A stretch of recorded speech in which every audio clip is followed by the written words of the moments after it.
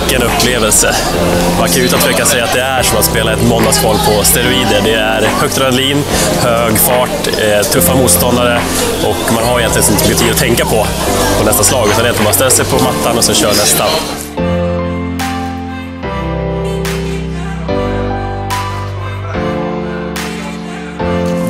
Bra drag, det är en kul grej. Ett eh, nytt format med som vi inte har tävlat i innan. Eh, så det är spännande.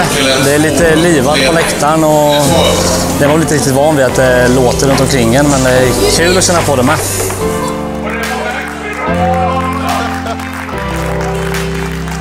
Att få vara här är väldigt kul då det är så himla många olika sporter som är här också som man kan gå runt och titta på.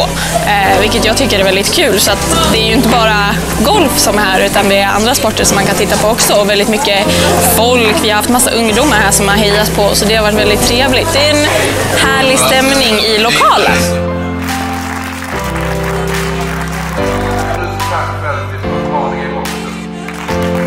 Nej, men det har varit riktigt roligt att vara här i Skövde och eh, varit med i första upplagan av eh, SM i simulatorgolf.